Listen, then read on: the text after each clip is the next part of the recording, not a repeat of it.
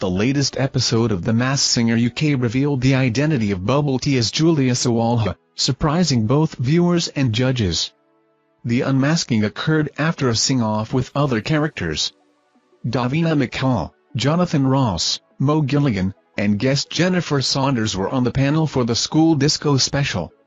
Julia, known for Absolutely Fabulous, expressed her motivation for joining, citing a desire to step out of her comfort zone.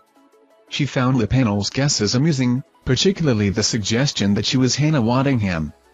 In previous weeks, Rat was unmasked as Shirley Ballas, and Chicken Caesar as Alexander Armstrong. The latter's clues included references to the classic Brit Awards and his work on Rome's Invisible City. Dionne Warwick was unmasked as Weather in Week 1, sharing the challenges of disguising her voice.